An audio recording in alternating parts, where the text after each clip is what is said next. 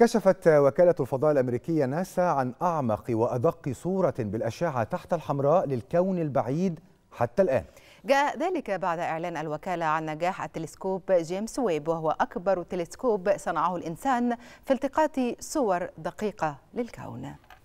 بعد ستة أشهر من إطلاق جيمس ويب أقوى تلسكوب فضائي على الإطلاق نشرت وكالة الفضاء الأمريكية ناسا أعمق صورة للكون على الإطلاق يتم التقاطها بالأشعة تحت الحمراء. الصور التي أظهرتها عدسة التلسكوب الفضائي كانت عبارة عن آلاف المجرات التي تشكلت بعد الانفجار العظيم قبل أكثر من 13 مليار عام. وفي حفل أقيم بالبيت الأبيض ونشرت خلاله باكورة حصاد التلسكوب الفضائي. قال الرئيس الأمريكي الأمريكي جو بايدن إن هذه الصورة العلمية والملونة هي الأولى من نوعها وتمثل يوما تاريخيا. وكالة الفضاء الأمريكية ناسا قالت إن هذه الصور هي الأكثر عمقا والأكثر وضوحا التي تلتقط للكون حتى اليوم وإن المنطقة التي تغطيها الصورة تشمل جزءا ضئيلا من الكون ولا تستطيع العين البشرية رؤية الأشعة تحت الحمراء لكن التلسكوب جيمس ويب مجهز بتقنيات تمكنه من ذلك.